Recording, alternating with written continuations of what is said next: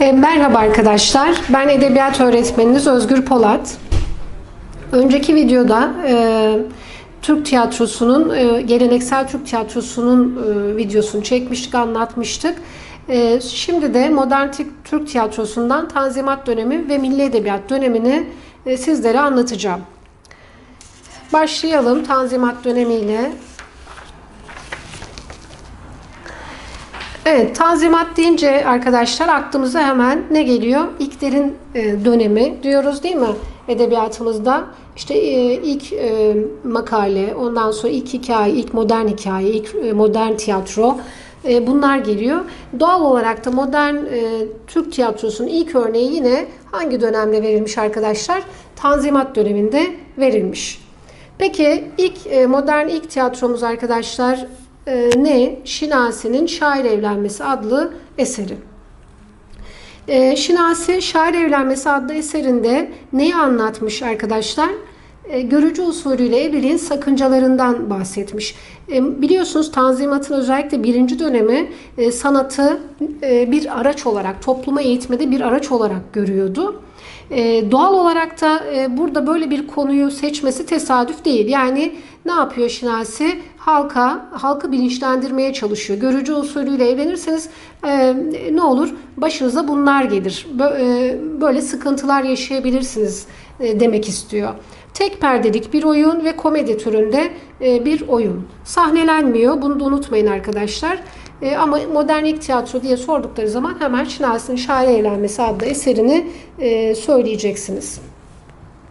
Peki e, sahnelenen ilk tiyatromuz ne peki arkadaşlar? O da Namık Kemal, Kemal'in Vatan yahut Silistre adlı eseri.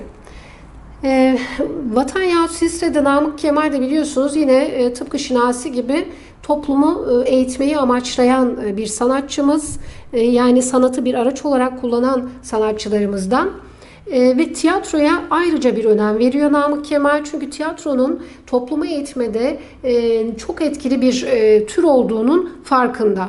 E, hatta Vatan Yahut Silistre'nin ilk sahnelenmesinden sonra oradan çıkan bir topluluğun hükümet binasına protesto yürüyüşüne e, geçmesi de aslında e, Namık Kemal'in bu fikrini ne yapıyor arkadaşlar? Ispatlıyor. E, yani hemencecik orada verilen mesajlar halk tarafından, toplum tarafından e, alınmış ve eyleme geçmiştir e, insanlar. Bu da tabii ki tiyatronun gücünü göstermektedir. E, bunun haricinde arkadaşlar e, direktör Ali Bey de yine Tanzimat Tiyatrosu'na önemli katkıları olan e, diğer bir Tanzimat sanatçımız, Tanzimat dönemi sanatçımız. E, Güllü Agop'un tiyatrosunda oynanması için eser çevirmiş. Batı edebiyatından, Molière'den çeviriler e, yapmış. E, aynı zamanda e, Ermeni o, dönemde Türkler çok fazla tiyatro sanatçısı olmak gibi bir şeyi hedeflemedikleri için ne yapmış arkadaşlar? Ermenileri, Ermeni olan tiyatro oyuncularına fonetik ve diksiyon dersi de vermiştir. Direktör Ali Bey'in böyle bir özelliği de vardır. Evet. Peki diğer e, to- e, bu dönemdeki Tanzimat dönemindeki sanatçılarımız ve tiyatro eserlerini şöyle bir topluca e, hatırlayalım. Şinasi'nin şair evlenmesi dedik. Ee, ilk modern ilk tiyatromuz arkadaşlar. Tek perdelik bir komedi. Ee, ama şunu da unutmayın arkadaşlar. Şinasi'nin e, şair evlenmesi adlı eseri ilk olmasından kaynaklı tabii ki modern e, tiyatroyu tam anlamıyla yansıtmayacaktır. Yani hem geleneksel Türk tiyatrosunun hem de modern e, tiyatronun yani Batı tiyatrosunun özelliklerini taşıyacaktır. E, bunun sebebi de şu yani sonuçta Şinasi geleneksel Türk tiyatrosunun içine doğmuş e, bir sanatçı. Hani o kültürle yetişmiş. Birdenbire modern e, Batı tiyatrosunu öğrendim ben hemencecik onun örneğini e, veriyorum, vereceğim e, şeklinde bir e, yola çıkamıyor. Geleneklerden çünkü kopmak mümkün olmuyor hemen ilk etapta. O nedenle şair evlenmesi hem geleneksel Türk tiyatrosu yani Karagöz Hacivat orta oyunun özelliklerini taşır hem de modern e, Batı edebiyatında da esintiler taşır. Ee, gelelim Namık Kemal'in tiyatro eserlerine. Sahnelenen ilk tiyatro eserimiz e, arkadaşlar edebiyatımızda Vatan Yahut Silsile dedik. Diğer eserleri Karabela, Gülnihal, Zavallı Çocuk, Akif Bey, Celalettin Arzemşah. Ee, bu dönemde diğer bir sanatçımız Şemsettin Sami, Besa, Seydi, Yahya, Gave gibi tiyatro oyunları var sanatçımızın.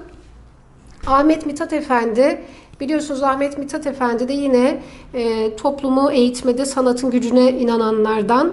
E, o yüzden de eserlerin yani yazı makinesi dermiş Ahmet Mithat Efendi'ye. Çünkü çok yazmış, çala, çala kalem yazmış, sonra geri dönüp e, düzeltme gereği duymadan yazmış. Çünkü amaç nedir burada? Ne kadar çok insana e, ulaşırsam, ne kadar çok e, kişiyi eğitirsem eserlerimle o kadar o derece kendini mutlu hissetmiş.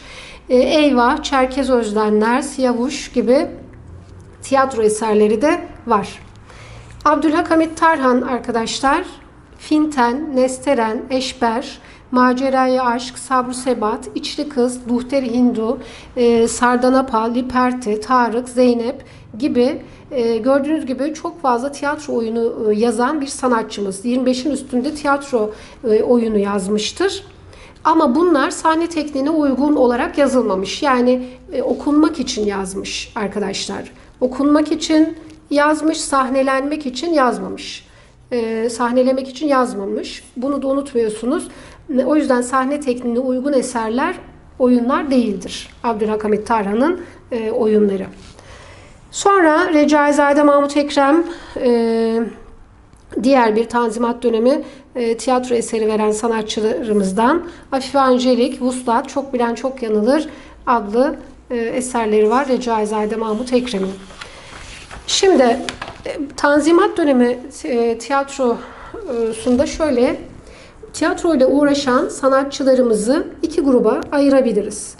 Namık Kemal ve Abdülhakamit Tarhan'ın e, ekolü dediğimiz bir ekol. Bu ekolde, bu grupta daha çok tiyatronun, modern tiyatronun trajedi ve drama ne diyelim e, özellikleriyle trajedi türü ve drama türüyle eserler vermiştir. E, direktör Ali Bey ve Ahmet Vefik Paşa'nın temsil ettiği ikinci grup ise komediye yönelmiştir. E, aralarındaki tek fark bundan ibaret de değildir. E, aynı zamanda dil ve anlatım açısından da farklılıklar göze çarpıyor.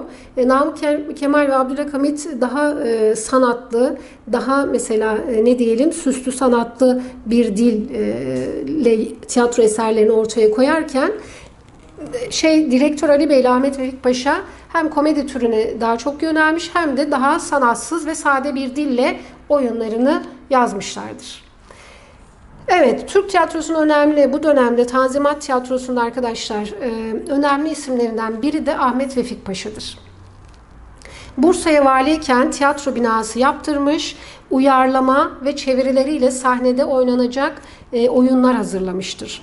Yani bu da e, o dönem için gerçekten tiyatroya e, çok müthiş önemli bir katkı diye düşünüyorum. Ahmet Vefik Paşa'nın tiyatro binası yaptırması ve çevirileriyle Molière'den e, yaptığı uyarlama çevirileriyle e, orada sahnelenen oyunları hazırlaması da tiyatro için, Tanzimat Tiyatrosu için önemli bir özellik.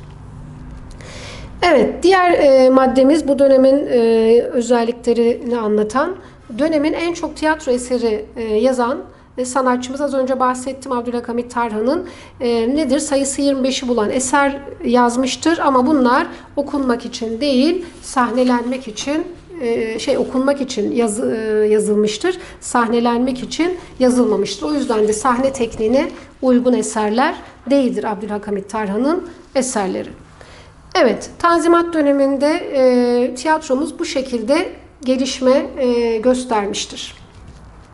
Biliyorsunuz arkadaşlar Tanzimat döneminden sonra Servet Fünun dönemi, Fecrati dönemi, e, sonra Milli Edebiyat dönemi geliyor.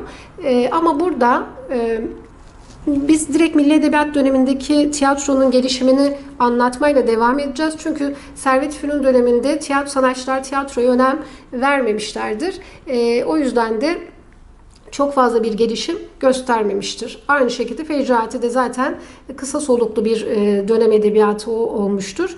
E, o yüzden biz direkt Milli Edebiyat dönemindeki tiyatroya geçiyoruz.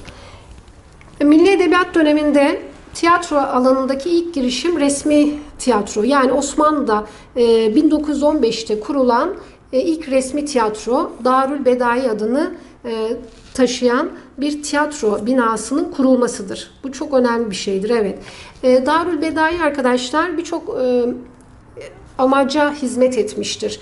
E, bunlardan o nedenle okul niteliği taşıyor arkadaşlar. Peki ne yapmıştır? Hem sanatçı yetiştirmeyi e, hedeflemiştir, e, hem e, halkın tiyatro zevkini, kültürünü e, e, arttırmaya, geliştirmeye çalışmıştır. E, aynı zamanda da e, birçok oyunun sahnelenmesi için e, sanatçı da yetiştirmiş.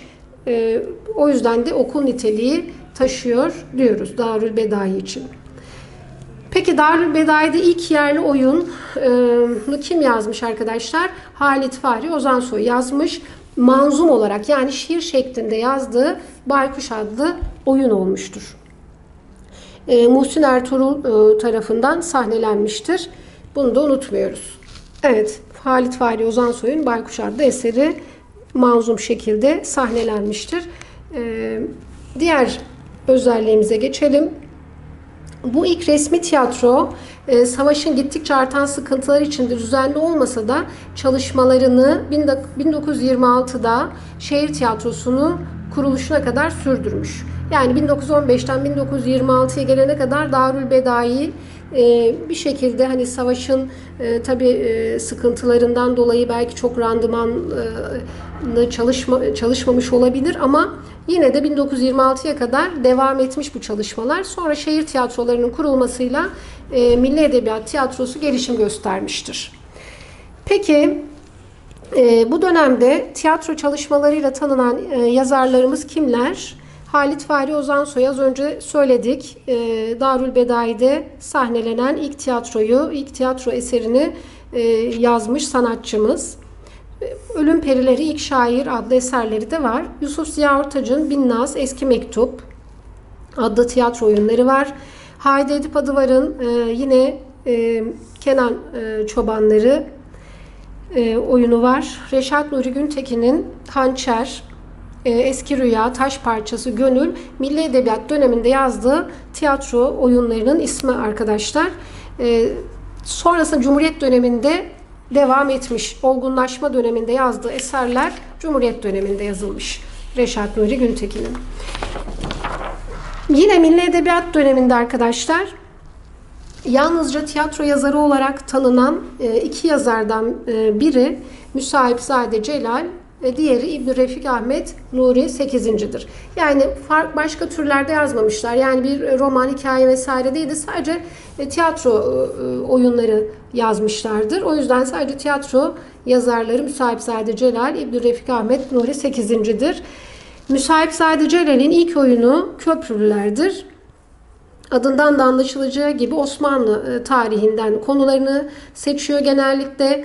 Sosyal yaşayış, töreler, inançlar, düşünüş biçimlerini gülünç yanlarıyla canlandırmaya çalışan Müsahipzade Celal, sosyal eleştiriye büyük ölçüde önem veren bir tiyatro yazarımızdır. Müsahipzade Celal. Ee, İbn Refik Ahmet Nuri 8. de Fransızcadan yaptığı uyarlamalarla tiyatromuza birçok oyun kazandırmıştır. Sadece uyarlama da yapmamış, kendi yazdığı eserleri de vardır.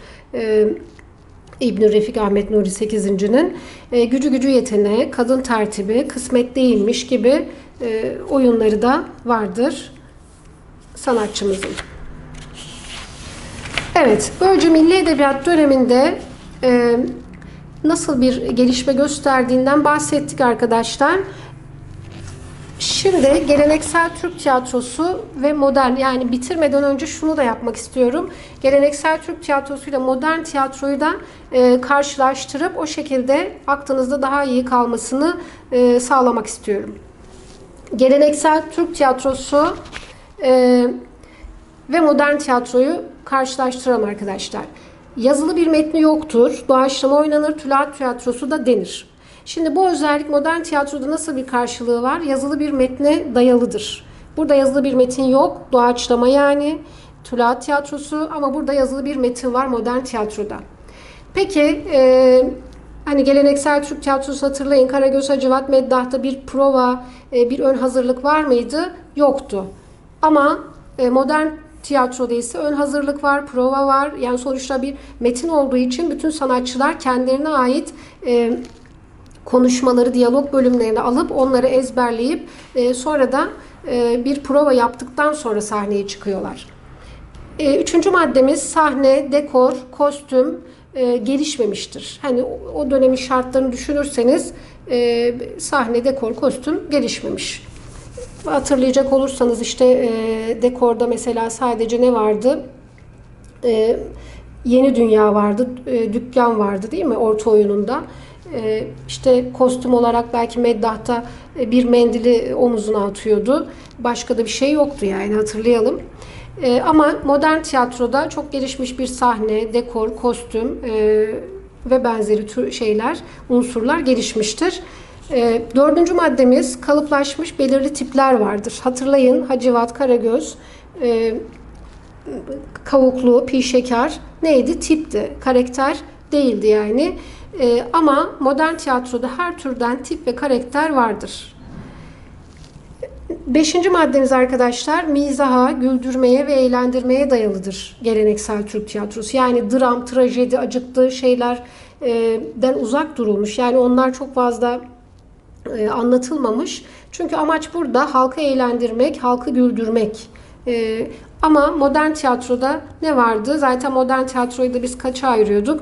İşte trajedi, acıklı olayların e, sergilendiği oyunlardı. Komedi, komik olayların anlatıldığı oyundu. Dramda hem e, acıktı hem de e, komik, hayatı tam olarak yansıtan bir tiyatro türü olarak karşımıza çıkmıştı. Yani gördüğünüz gibi arkadaşlar hem geleneksel Türk tiyatrosu, modern tiyatronun e, oldukça farklı yönleri, farklı özellikleri var. Hani ortak özellik olarak belki e, neyi sayabiliriz? Her ikisinin de bu da testlerde çıkar. e, göstermeye dayalı edebi metinler olması e, en büyük ortak özelliktir diyebiliriz. Evet, böylece e, modern Türk tiyatrosunu da bu şekilde anlatmış olduk.